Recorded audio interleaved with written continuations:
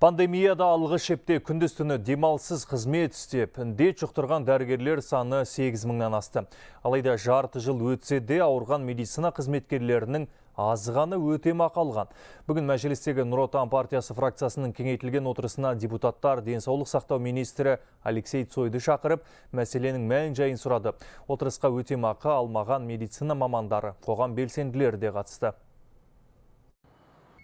Мұқым елді есеңгіреткен вирус өршігенде адамдарды қауіпті дерттен құтқару үшін арпалысып, өздері де індеттің тырнағына іліккен медицина мамандары қандай құрметке де лайық. Екібастұз емханасының жедел жәрдем фельдшері Жанар Аумаликова жазда коронавирус жұқтырып екі ай төсекке таңылған, бірақ өте мақыдан қағылған во время пандемии маусымда ауырып қалдым. Кодтар дұрыс емес птр сараптамасы әзірге болмады. Сөйтіп өтемақы ала алмай жүрдім. Елордадағы нөмірі бірінші қалалық ауруханасының дәрігері Мұхит Туланов еңбекке жарамсыздық парағы болмағандықтан өте мақысыз қалған. Жұмыс жүктемесінен емделуге де уақыт таппаған біз жұмыста түнедік ол кезде өтемақы туралы ойлаған да жоқпыз. Мемлекет алдындағы міндетімізді парызымызды ойладық. Енді әділеттілік орнату мүмкін бе?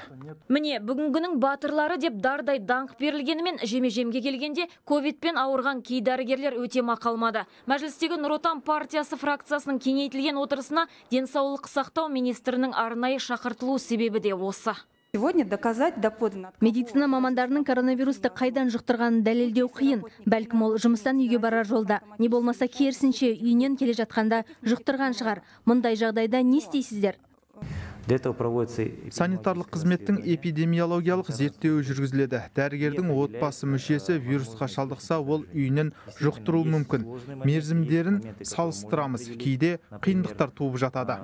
Жұмыста жүріп 8333 медицина маманы ковид жұқтырған. Оның тек 4064 ғана өтемақыға өтініш берген. Яғни 6 айда 2475 тапсырылса, мәжіліс сұрау салған соңғы аптада әпсәтте 1589 өтініш жолданған. Соның өзінде ковидпен ауырған медицина қызметкерлерінің тек 14 проценті, ал одан көз жұмған дәрігерлердің отбасыларының 13 проценті ғана өтемақы алған. Мәжіліс төрағасы Нұрлан Нығматулин жарты жыл өтсе де өтемақы толық төленбей, кей мамандар ауырғанын растай алмағанын сынады. Спикердің айтуынша қағазбастылықты жойған абзал. Науқас өтінішпен бірге 5 жыл бұрынғы ескі әрі құрқыш талабы бар эпидемиологиялық карта тапсыру қажет екен. Механизм жеңілдетілуі тиіс. Себебі ақиқатында бұл құр сан емес, шүберекке түйілген адам тағдыры деді мәжіліс төрағасы.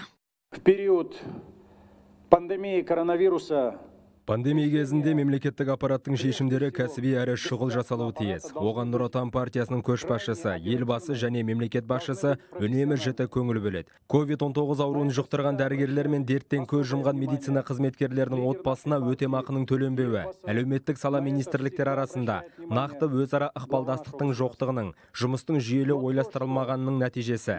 Дәл қазір медицина қызметкерлерін қолдау жөніндегі ел президентінің тапсырмаларын орындау үшін жіберілген қателіктерді түзету аса маңызды Нұр Отан партиясы фракциясының мүшелері 12 өңірдегі аймақтық комиссиялар тым кеш құрылғанында сынға алды. Ведомствоаралық комиссияның да жұмысы сылбыр. Үкімет басшысының орынбасары жаңа ақпараттық жүйелер құруға тура келгенін айтып ақталғанымен мәселенің барын мойындады. Нұр Отан партиясының фракциясында өте керекті де өте маңызды да. Осыны жиылыс өтті ғой деп ойлаймыз. Көп көп рахмет айтуға рұқсат етіңіздер. Айтылған көптеген мәселелерді бірге талқылап екі үш күннен бері талқылаған сұрақтардың бір шешімдерінің бір бағыттары анықталды.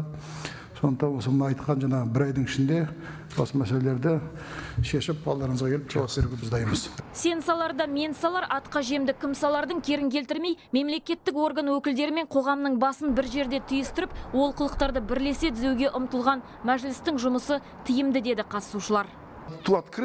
Мәжіліс қоғаммен қоян қолтық ашық жұмыс істеу өте қуантады. бүгін әрбір статистика әр құжат сараланып шешім қабылданды. Парламент палатасының осындай серіктестік бағыттағы жұмысы қолдауы қоғам үшін аса қажет.